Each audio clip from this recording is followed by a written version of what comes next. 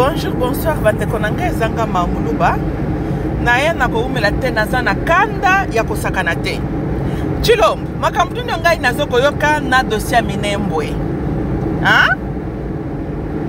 nakomeka nanu kosala so barecherche malamu malamu bandeko na nga bo boza plus na bainformation crédible hein? bopartage yango na nga ata na bacommentaire na bino wana mais moi je demande je répète ce que j'ai toujours dit le peuple congolais botika kotalela chilombo aza na solution ata moko te mpo na bino bandeko na ngai ya kivu kuna na babukavu toute cette, cette région là hein?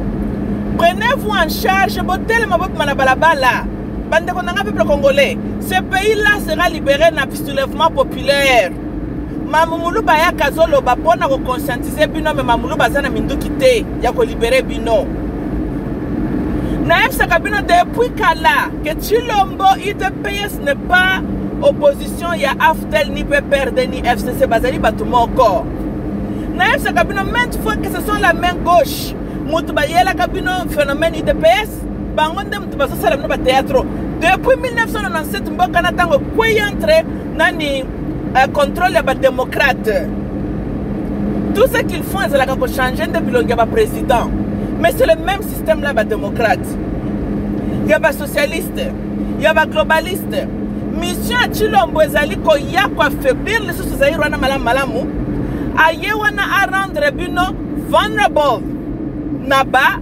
masolo ya baglobalisation na bango baza na yango bokosiliko cilombo asali bo cilombo asali bo ye cilombo ayaki mpo na koede congo ere moko bandeko na ngai mpe kongole lelo na koblame nde bino boza kokomisa motu président atikala kozala ata bourgmestre quelque part te quelle politique cilombo asala ba 3 ans na ye so mpe baecole technique na mwasi na ye asala basiene sa femme aza aide soignante Yo kanzi abanda osala eloko nini? Ezaki kosukolaka ba vagin basi ya ba mindele. Hein? C'est ça.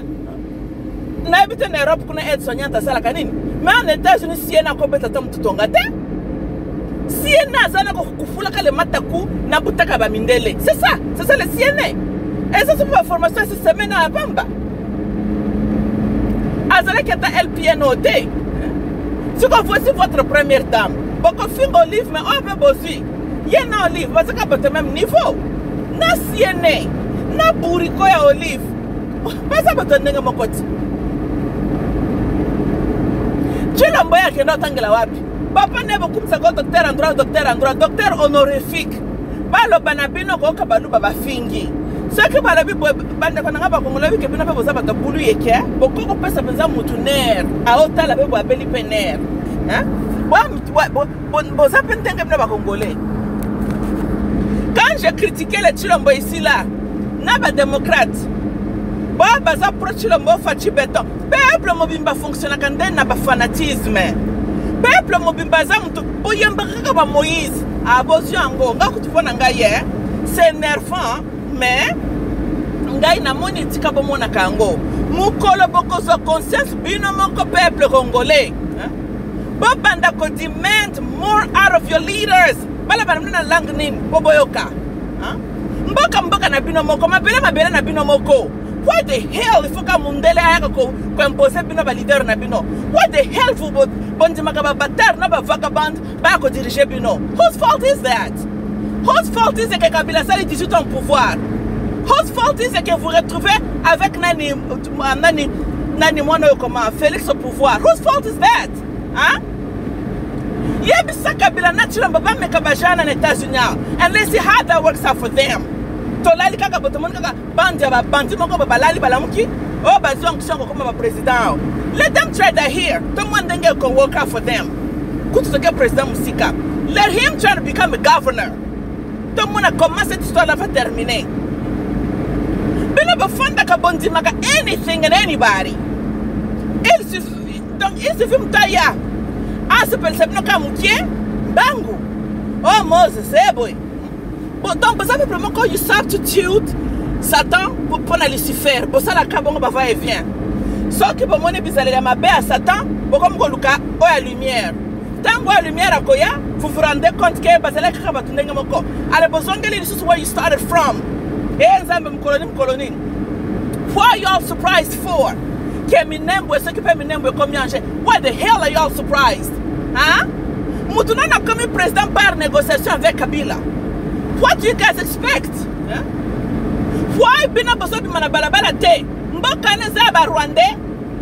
mboka wana ezali ya bato akabeyaka mwanga eza mboka na bino n'est-ce pas amita moto mpenza na tokita nani moto akolakisa na chilombo na bato bayaka na ye que vous n'allez plus tolérer bêtise et la blague nani bino te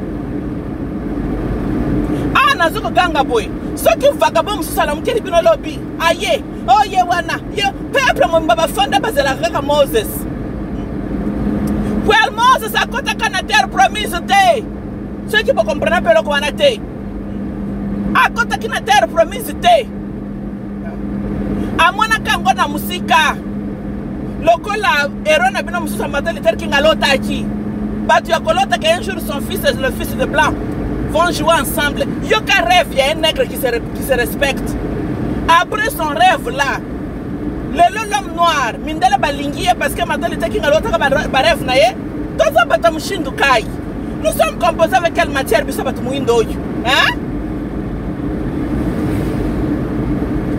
bozo kotia moto na basentiment même si chilombo a la volonté de vouloir réellement servir le congo mais son réaliste il manque l'expérience nécessaire pour réellement être of good service à sa nation et okoki kosala tout sur eloko wana ata motu ya bongo par une émotion ezanga motu na makolo même s'il a la volonté ayebi ne politics te he has no experience he has no foreign affair experience nothing papa na ye azalaka ba nani ba ministre ya mwa si mwa mwa inane what kind of experience is that huh? bondimaka kaka bolingi kaka makambo ezoko mase bino na matoyi wana boyoki bien bino moko oyo likambo oyo ya monembwe eh?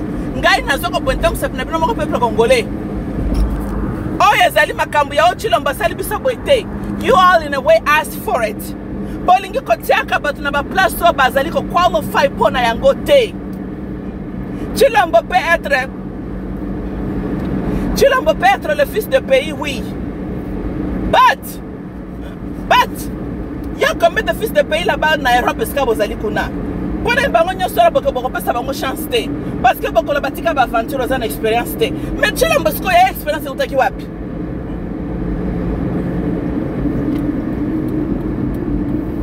Et quand vous vous retrouvez que he has no clue what the hell he's signing, ba accord nazo signer za nini?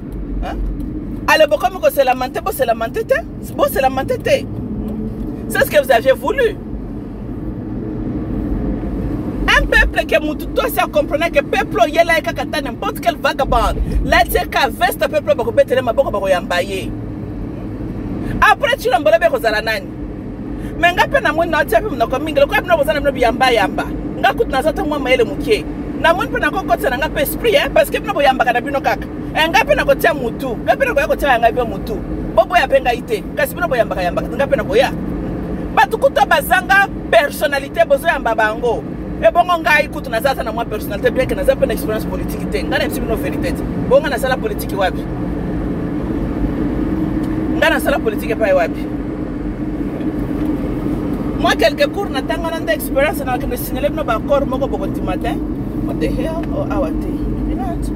eh, bokozwa mpenza eh? o oh, frontière ya congo ebandi ebandi boyawara na bwara bisanenge hmm. bokoyebela yango kanda après bandeko na ngai sur volant nabalka balka ka nasalaka baerreur na nga so let me get off the road avant badiabulo batelemisa ngai e eh? nazoya ngai tiki awa shut naoswanela kongo yango boyokaka na bino mpe kaka te ata na gangi boye lobi bokoya lisusu kaka boke kozwa lisusu hmm? bino bondimaka motu ta koyala ekosaleke na gangi en vain boya mpe ntina te eh, bino mpe hmm? bato bakoganga bakoganga bakoganga lelo bi lisusu motu mosusu akoyala bondimi ye ngai mpe nakoya kotia ya ngai motu motu mpe akritike ngai mpe te hmm. désormais congo ekozala dirigé par les gens qui n'ont qu'une expérience politique nga moko volontaire aha aha bolingi bongo parce que soki balobi ke bozwa mutu tel bolingi te bolanda bato par affiliation ya nkombo ya papa ah, to bino soki nalandi bino bien surtout bino baluba eh, donc vous êtes encore à l'aise le sujet ya famille tshisekedi hein? eyi eh, hmm, bozela bakoteka na kabeya ka mbongo na nde bokoyeba mokolo bokolamuka mpenza kabeya ka mbonga ekomi na bato ya barere nde bokoyeba ekokoma raba ya rabwara kala te bozela alright guys i love you all bye bye